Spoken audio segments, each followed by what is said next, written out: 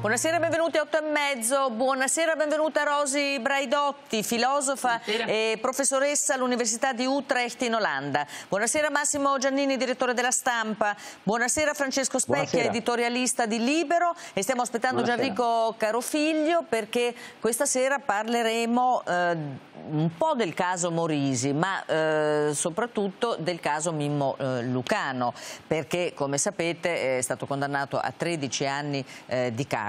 Questa sentenza eh, sta facendo esultare eh, la destra e la sinistra. Che cosa dice? Subito dopo la pubblicità.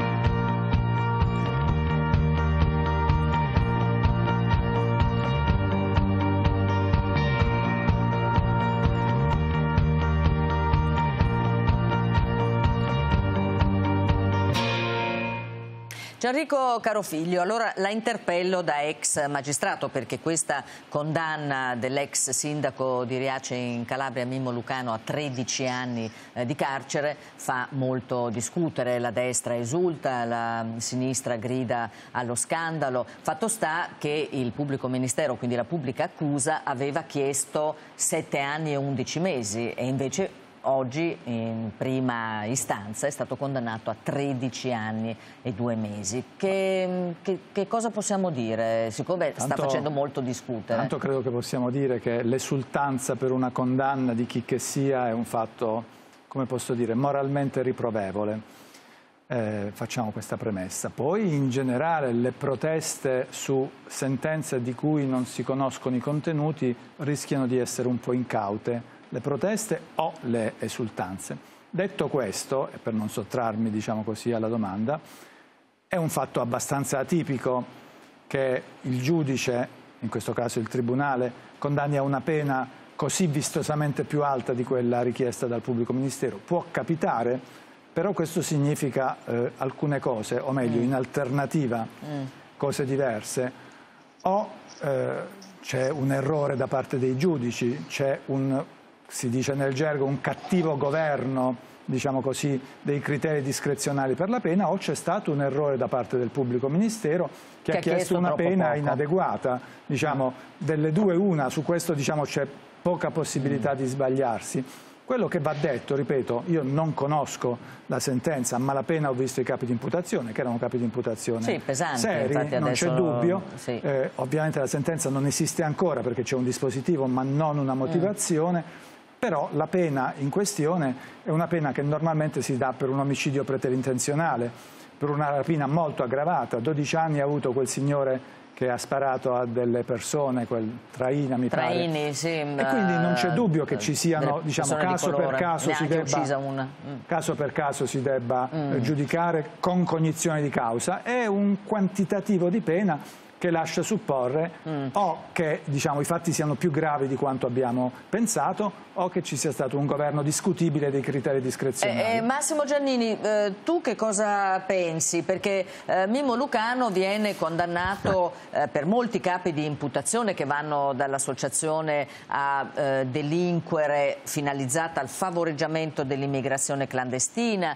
alla frode, al peculato, all'abuso d'ufficio. Quindi mh, mm, sono reati sull'uso molti di questi sull'uso illecito di soldi pubblici. Fermo restando, eh, questo ricordiamolo sempre, che Mimo Lucano per sé non ha intascato neanche un euro. Allora?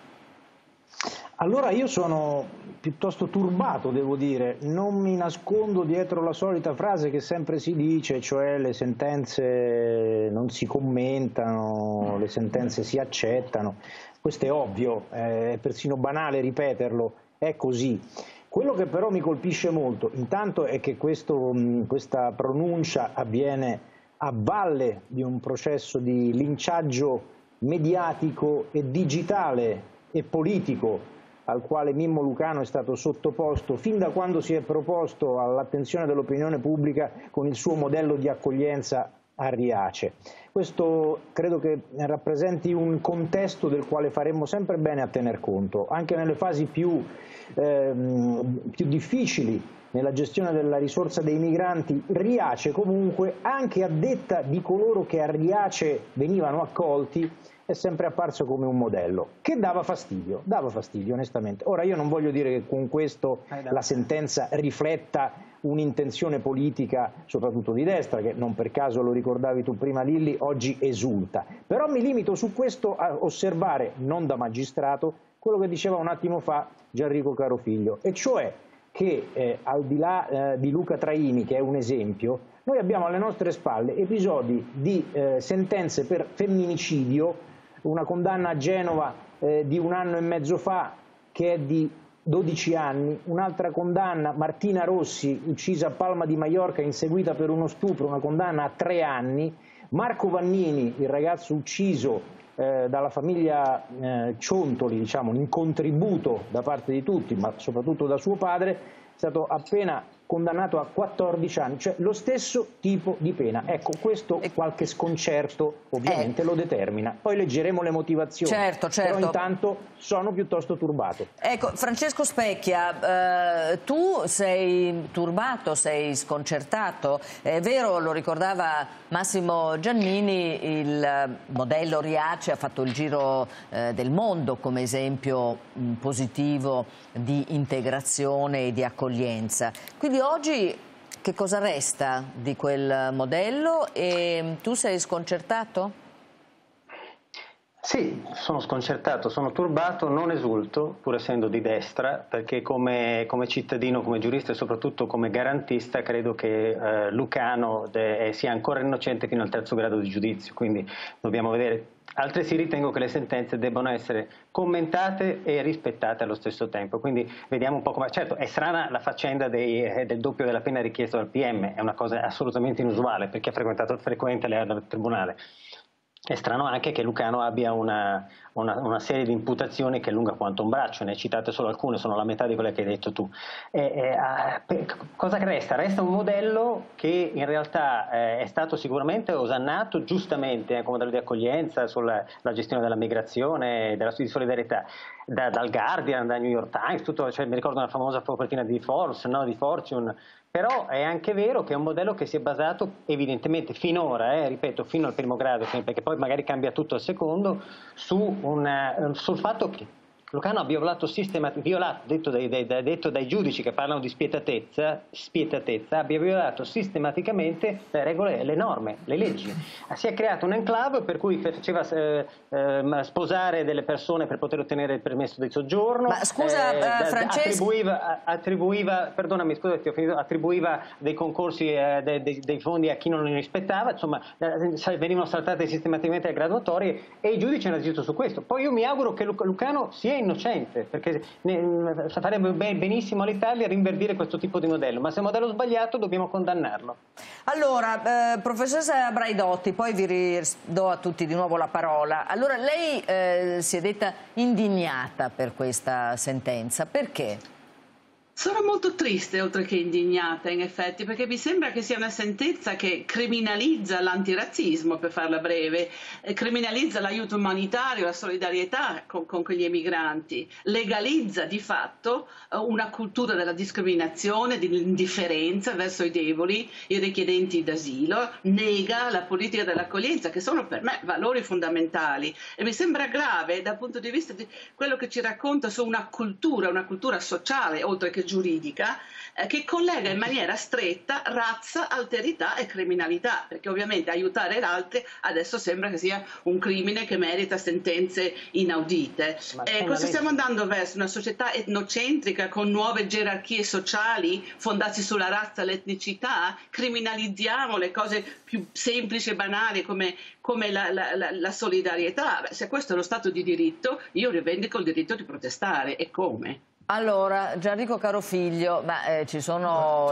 anche le leggi da rispettare però, no? E poi sì, vedevo insomma. che non era d'accordo neanche Specchia forse con quello che diceva la Braidotti. Non lo so, io credo... No, con... siamo, siamo, in uno Stato di diritto dove ci sono delle norme, dobbiamo rispettarle. Carofiglio magistrato l'ha fatto per anni, chiunque, noi ci sono delle... è banale, se c'è una legge violata deve essere punita, punto. Ma l'apartheid in Sudafrica era legale, è ma non c'entra nulla, è un discorso etico. queste gerarchie è un discorso non possiamo etico, no, essere no, indifferenti. Siamo siamo in uno Stato laico, ci sono delle leggi da seguire, se no chiunque si può sentire in, in dovere di rubare, di rapinare, di, di, di fare degli omicidi. Siamo, uno, cioè, siamo, regolati dalla legge, purtroppo è così, lo Stato è questo. Non si può restare da, indifferenti davanti alla razzializzazione Ma non siamo indifferenti, siamo costernati, siamo assolutamente costernati, ah. però purtroppo ci sono delle violazioni sistematiche di leggi. Allora. Disegno criminogeno. Cioè, di, parlo Discorsi classici della destra. No, lo dicono i magistrati di sinistra, signora, professoressa, lo dicono i magistrati. Di forse si, no. guardi, si guardi la, la, la sentenza, detto, aspetteremo le magistrazioni. Ecco, magistrati, magistrati di, destra, di sinistra, di sinistra, diciamo che i magistrati Guarda, fanno il loro una. mestiere. La Già legge è una. Gianrico allora. Carofiglio, eh, la legge sì. è una ma eh, ci sono anche tante possibilità di interpretare le leggi. Non, no? c'è, dubbio, non c'è dubbio che vi siano molte certo. possibilità di interpretare le leggi, rispettosamente non condivido molto il discorso che ha fatto la professoressa, oggi è una giornata bizzarra perché sono più incline diciamo, a condividere quello che ha detto Specchia perché, perché non c'entra moltissimo la criminalizzazione del, eh, dell'aiuto e della solidarietà ovviamente. Eh, questo non significa che la sentenza non si possa eh, criticare, questo non significa che la sentenza non lasci piuttosto stupefatti, anche per un motivo che eh, voglio aggiungere adesso. Lo, lo, metto nei termini, se fossi stato io il presidente del collegio in generale, se avessi dovuto decidere io quando uscire con questa sentenza, ecco magari non l'avrei fatto due giorni prima delle elezioni eh, regionali. Questo è un aspetto discutibile mm. perché non ci vuole nulla fare un rinvio a fra un mese per decidere al di fuori diciamo così, del calore della battaglia politica. Ecco. E due giorni prima è una cosa bizzarra. Ciò detto, Ciò detto, eh, chiariamo che le migliori intenzioni in qualsiasi ambito. Io credo che Lucano avesse le migliori intenzioni. Anch'io sono stato e per molti aspetti rimango un ammiratore di quel modello, ma le migliori intenzioni non forniscono un'esenzione dal rispetto delle dal norme rispetto delle, delle leggi e delle norme penali. Ma eh, Massimo Giannini, sorridevi perché sorridevi? E eh, ha giustamente eh, fatto notare, caro figlio, che diciamo, questa sentenza irrompe nella campagna elettorale già eh, molto dire, accaldata eh, e per esempio ha fatto eh, dire a Salvini la sinistra dalla caccia agli omosessuali della Lega ma candida in Calabria condannati a 13 anni. Allora, per Salvini sembra quasi essere una, una specie di rivincita dopo il caso Morisi. Ecco, vedi, questo eh, io lo trovo francamente intollerabile. Al di là del fatto che opportunamente suggerisce, caro figlio, in certi casi forse anche i magistrati, i giudici in questa situazione potrebbero magari prendersi un po' più di tempo per evitare che le loro decisioni irrompano in una campagna elettorale già sufficientemente intossicata. È no? perché in Calabria Però... si vota per le regionali no? e sappiamo che Mimmo e, Lucano è, è, è, candidato, è anche candidato. Ecco, però qual è il punto? Se noi ragioniamo in termini di giustizia orologeria, in Italia i magistrati e i tribunali dovrebbero smettere di lavorare, perché c'è sempre un appuntamento elettorale o simil elettorale che suggerirebbe un rinvio di qualunque decisione su materie sensibili. E questo è il primo aspetto. Ma il secondo aspetto, e io non per caso nella premessa che ho fatto ho voluto ricordare linciaggio mediatico e politico al quale Lucano è stato sottoposto nel corso di questi anni, indipendentemente dai reati che ha commesso, se li ha commessi, se sono così gravi, sarà interessantissimo andare a leggere la sentenza, però mi interessa quello che precede la sentenza mm. e come la politica la usa a proprio uso e consumo, scusatemi il gioco di parole, questo è insopportabile. Vale I magistrati fanno il loro dovere, decidono, è la politica che non dovrebbe usare Specchia? le pronunce, le sentenze no, ma, uh, per Giannini, usare la clava contro l'avversario. Purtroppo è questo che fa la politica, certa politica, diciamolo. La destra da questo punto di vista, su questi temi, fa un uso spregiudicato e a volte scandaloso anche di vicende giudiziarie. Posso allora, sullo stesso piano, Posso- la vicenda di Morisi ha- e quella di Mimmo Lucano, secondo me è inaccettabile, No, no, totalmente ma ha ragione. Giannini, posso, posso dire che ha ragione, ma Specchia? vale lo stesso allora. Ha ragione Giannini, vale lo stesso allora per Berlusconi, vale lo stesso per Mario Mori, vale lo stesso per Calogero Mannino, è la stessa cosa. Cioè la giustizia non deve essere utilizzata e non deve essere solo l'orologeria, giusto Giannini? Io sono assolutamente d'accordo con te. Allora dobbiamo mettere sullo stesso piano destra e sinistra, come abbiamo sempre fatto, perché non è possibile che se una, una- una sentenza non va bene a uno, dopo va bene all'altro quando, quando- quando cambia. Cioè, No, eh, non deve essere. Sono- la- sono la, la politica ha ragione, non si deve insinuare nella nei processi, e questo hai ragione. Però eh, Allora. siamo poi fondamentalmente anche noi cronisti che supportiamo poi queste tesi, perché stiamo parlando proprio di questo, no? delle fazioni che si creano quando le sentenze vengono pronunciate. Ecco, ma Io eh, non- non professoressa, sono fazioso. Professoressa No, per Braidotti, carità. Volevo, poi vi- un attimo voglio fare un passo eh, avanti, perché naturalmente c'è chi dice eh, che eh, questa sentenza eh, s- venga mm, molto, diciamo, ehm, a fagiolo per la destra e soprattutto per Salvini, perché così si oscura il caso Morisi. Raccontare il caso Morisi significa dare la caccia agli omosessuali della Lega, come dice il leader della Lega, professoressa? Ma eh, assolutamente no, è la Lega a dar caccia a tutto il popolo, il BGT, a coprirci di insulti, a umiliarci sostenendo politiche natalistiche fondate su un'idea tradizionale della Sacra Famiglia, l'eterosessualità come stato naturale di tutti e poi pratica invece una doppia morale. Questo è il caso Morisi, la doppia morale, concedendosi tutto, vizi e crimini compresi, nell'ambito del privato. Ma il femminismo ce lo insegna da decenni, la vita privata è altrettanto politica della vita Crimini, pubblica. vediamo professoressa, perché ancora diciamo, le indagini eh, sono in corso, non c'è stata Sì, è nessuna vero, è sentenza. vero. Comunque si concede un- questo- questa divisione fra il, pri- il privato e il politico va rimessa in discussione. Io penso anche che fosse arrivato il momento di smettere di parlare degli omosessuali come se fossimo una categoria unica, omogenea ed unitaria. Eh, non è così. La destra ha una cultura gay fondata sulla doppia morale e un po' di ipocrisia, diciamolo. La sinistra ha una cultura gay fondata sulla solidarietà e i diritti umani. I verdi hanno una cultura gay fondata sul rispetto dell'ambiente e lo stile di vita. Forse ci servono categorie analitiche più precise o complesse come quelle che già applichiamo agli eterosessuali, perché nessuno parla di eterosessuali come una categoria unica. Ormai gli omosessuali fanno parte di tantissime diversificate categorie.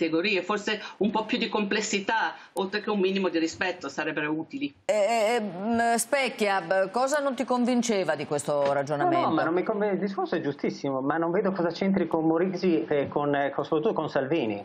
Cioè, io sono d'accordo, io sono uno di quelli che da destra ha, ha- lottato e combattuto per i diritti degli omosessuali, sia di destra che di sinistra che di centro. Quindi posso essere tracciato di tutto tranne che di questo. Però non vedo il problema, cioè io vedo semplicemente una manipolazione anche in questo caso, come nel caso evidentemente della sentenza Lucano da parte della destra, eh, di una manipolazione di un fatto, che in questo caso non è neanche un fatto processuale perché non c'è crimine finora almeno, è un fatto etico. Io sono d'accordo sul fatto che gli eletti debbano essere eticamente superiori sempre ai propri elettori, però in questo caso non si tratta di un eletto, non si tratta di una persona notoria, si tratta semplicemente di un consulente, di un leader politico, per carità con una grande importanza e grande influenza, però la responsabilità penale come sappiamo tutti è personale, la responsabilità etica tanto più. Quindi non vedo cosa vada a incidere su Salvini e sulla campagna elettorale, non vedo cosa c'entra la destra becera, cattiva, anti-omosessuale. Io sono liber- No, liberale, liberista e non mi doppia sento morale. così. Non ho detto Becera è Ma non è cattiva, una doppia morale, no. Ma dov'è Allora- la doppia morale di Salvini? Cos'è la doppia morale? Perché lei, lei ha visto Morisi parlare, un- lei ha visto regole, Morisi parla- due sistemi ma lei ha regole. visto Morisi parlare degli omosessuali? Ma dov'è la, dov'è la doppia morale? Mi scusi. Morisi ha Allora, aspetti, eh, asp- asp- aspettate un attimo, voglio sentire Gianrico Carofiglio perché esiste una responsabilità Eh. non solo penale personale, Facciamo- esiste facciamo- una responsabilità politica. Sì, sì, no? ma a parte la responsabilità politica che pure conta, precisiamo alcuni dati di fatto che non possono essere omessi. In primo luogo il signor Morisi non era solo un consulente, ma era un componente del direttivo della Lega con un ruolo politico oltre che tecnico nella gestione della macchina comunicativa, questo per la precisione. Quindi non è un tecnico che lavorava per Salvini, ma era un politico che lavorava con Salvini e con gli altri. E che è stato pagato quando Salvini è stato molto ben pagato a vario titolo. Ma non è questo, non ci interessa, questo mm. ora non ci interessa. Dobbiamo chiarire che il suo ruolo mm. era anche se non soprattutto politico, perché egli era all'interno del direttivo della Lega ed era lo stratega di una comunicazione i cui connotati politici sono davanti agli occhi di tutti, ripugnanti secondo certo. me, ma questo è un altro discorso. La questione però, cui accennava la professoressa della doppia morale, è bene diciamo, precisarla ulteriormente. Io credo che le questioni private eh, delle persone, anche che fanno politica, siano e debbano rimanere questioni private a meno che. Qual è la meno che? Immaginiamo che io fondi il partito della famiglia, con questo partito della famiglia sostengo che la famiglia tradizionale è al centro della mia azione politica. Non voglio i matrimoni omosessuali, non voglio le unioni civili, voglio che il matrimonio sia il centro di tutta la mia azione politica. Che è quello che diciamo, la destra sì, dice da sempre. Non... Quindi dico che quello è un valore politico per me. Se si scopre che faccio le orge, questo è politicamente rilevante, mentre se io fossi il capo del partito del lavoro, che della famiglia si disinteressa, mm. se quello che faccio nel mio privato è affar mio, ma se invece nel contenuto del mio messaggio e della mia azione politica c'è proprio quella roba là, ovviamente questo è rilevante, ma lasciamo perdere adesso il tema della dimensione sessuale che è sempre scivoloso. Qui un altro tema è quello della droga, eh certo. è quello della campagna proibizionista durissima, offensiva, che si è accanita tra l'altro su persone sventurate che hanno perso la vita, non ci dimentichiamo la vicenda Cucchi e quello che ha dovuto patire la famiglia Cucchi ad opera di questo signore che era dedito di a questi passatempi. e della bestia, questo insomma, signore la che era ed è un politico della Lega, non un consulente della Lega. Non solo. Allora Massimo, Massimo Giannini. Sì. Rapidamente no, c'è di più, c'è un altro elemento. E Massimo, perché, eh, Massimo scusa, ti, sì. ti, interrompo solo un secondo perché aggancio e facciamo un passo avanti il colloquio che tu hai pubblicato oggi con eh, Berlusconi, che sì. lo staff di Forza Italia ha smentito, mentre invece tu hai confermato tutto. E cito intanto, a proposito di gay, eh, la frase che ha detto Berlusconi in questo colloquio con te. Ha detto l'unico difetto di Morisi è essere gay forse non proprio l'unico. Magari scherzava. Sì. No?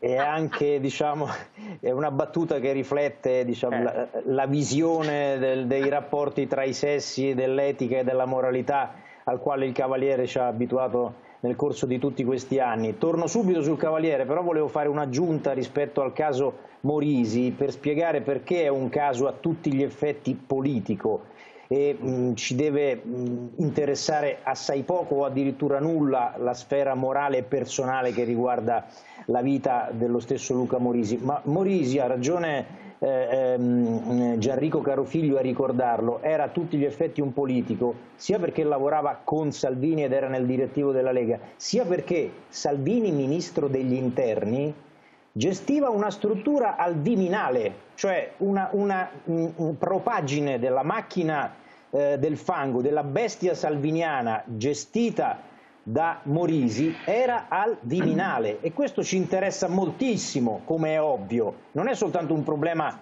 di coerenza tra quello che dici e, e, quello che fai nella tua vita privata, è un fatto politico di rilevanza enorme. Aggiungo poi per quello che riguarda Berlusconi, eh, rapidissimamente, Ovviamente la telefonata c'è stata la, la, la, smentita dello staff fa Quindi un po' non te la sei inventata questa intervista, colloquio?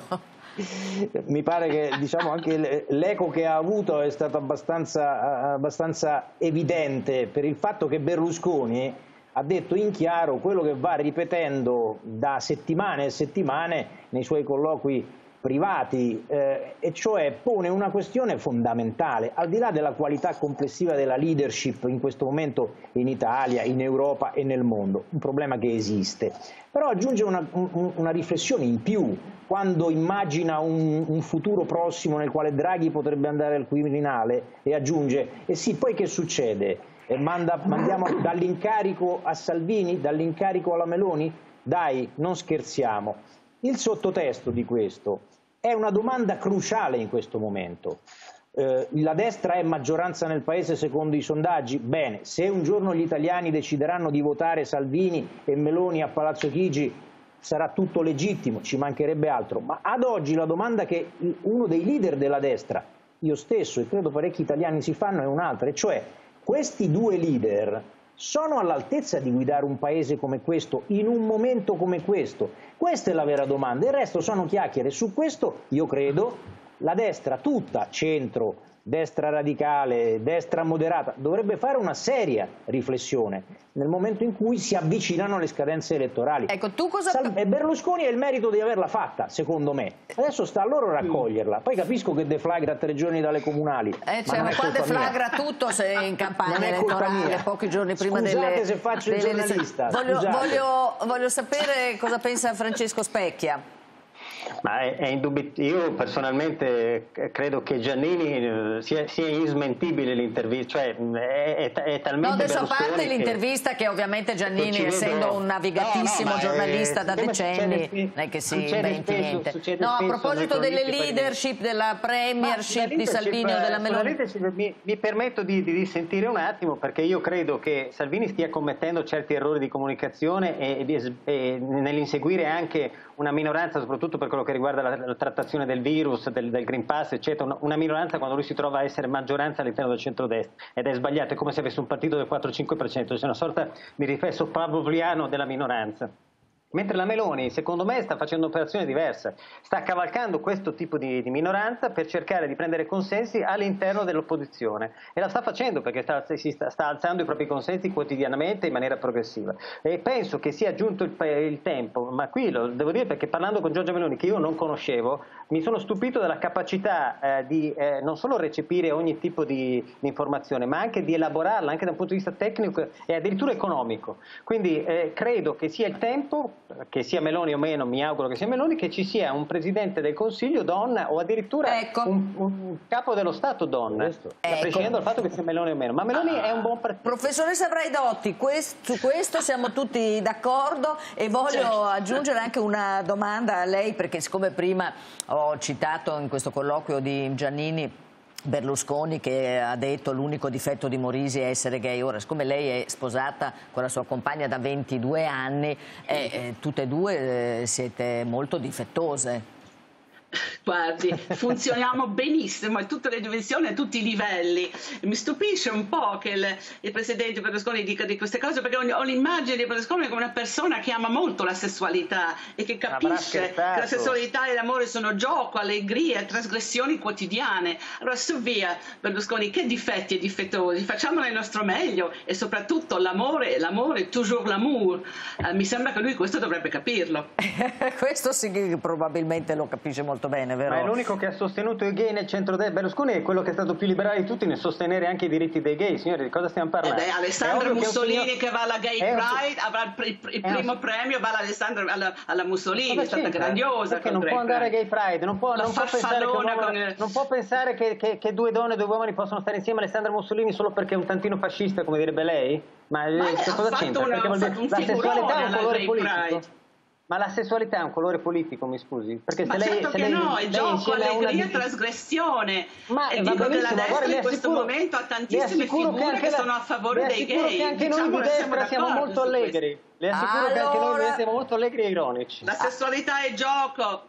Uh, Lo sappiamo. Su questo siamo anche molto d'accordo. Io adesso vi faccio vedere il punto di Paolo Pagliaro perché um, come forse ricorderete l'altro ieri, Draghi oggi ha incontrato Greta Thunberg in un incontro che è andato molto bene. L'altro ieri il Presidente del Consiglio ha candidato la capitale Roma per l'Expo del 2030, però intanto eh, c'è chi cerca di recuperare eh, questa edizione perduta. Guardate.